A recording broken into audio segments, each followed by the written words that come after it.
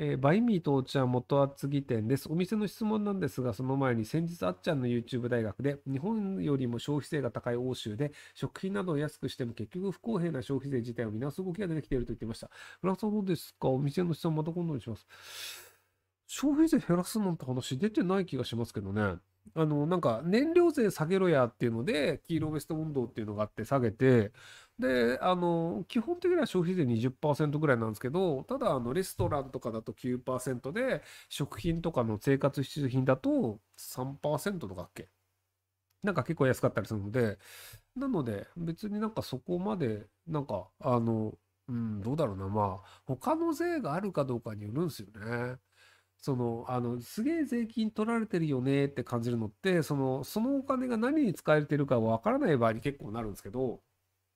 で、まあ、フランスの場合だとなんか電気代高くなったからじゃあ100ユーロやるわみたいなのでなんか小切って配られたりとか割とそういう感じでそのあのなんかお金をちょこちょこ政府が使ってるよねって見える形だったりするのでなのでなんかそこまで重税感は強くない気はするんですけどただフランス人はよく文句言ってますね。あの要はその日本の場合ってあの社会保険料っていう謎の仕組みがあってあの働いている人の14%ぐらい今取られてるかな要はあのなんかじゃああの給料50万円ですっていうと2万8000円ぐらい。違うな。給料50万円だと7000円ぐらいか。14%だから。本当だよね。7000円ぐらい取られてで自分は7000円なんですけど実は会社も同じ7000円の額払ってるみたいなのがあってでその社会保険料って払わないという選択肢がないんですよね。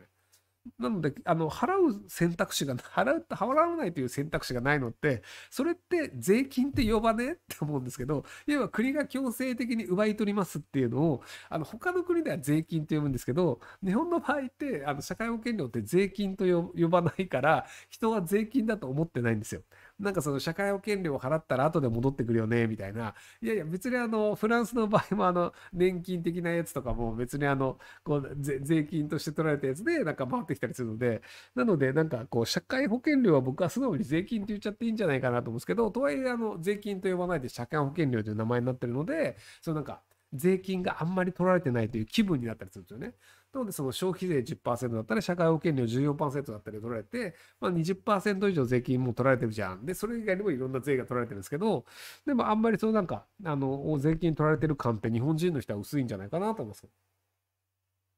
でも確定申告を会社員がしないからっていうのもあるんじゃないですかね。